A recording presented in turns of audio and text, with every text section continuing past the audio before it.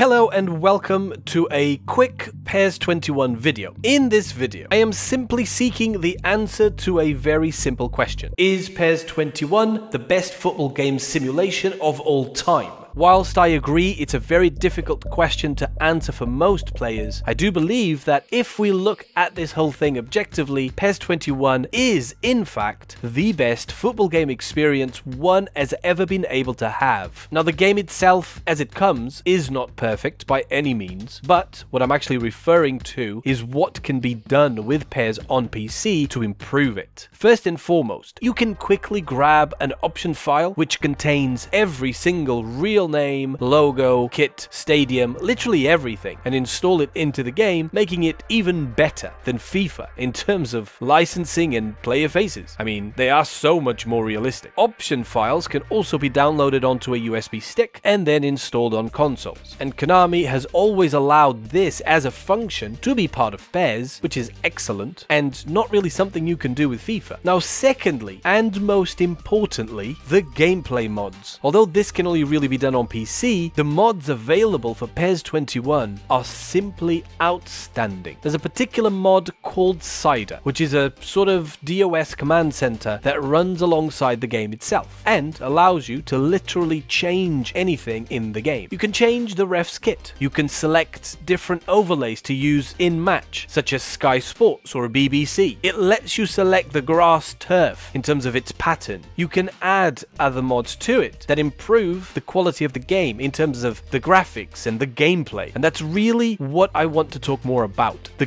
gameplay mods. These kind of mods drastically change how the gameplay works and how it feels. Most will improve the gameplay in huge ways. PES, of course, has always been praised, in particular due to its excellent gameplay mechanics, by adding mods that improve the gameplay as well as graphics, and having all real official names, logos, kits, stadiums and everything else in between, it really amplifies the experience with PES compared to any other football game out there ever. PES 21 is really quite excellent, mainly because of what can be done to it and changed and added and turn it into the best football game ever. It's really quite that simple. If you have a gaming PC and you haven't yet tried PES 21 and you love football, then I definitely recommend that you give PES 21 a go, find yourself some mods, and boom, play the best football game in the world ever. Anyway, let me know what you guys think down in the comments. Thank you very much for listening to this, and goodbye. He had a choice of trying to volley that and get his head to it, and I'm pleased to say he took the right option.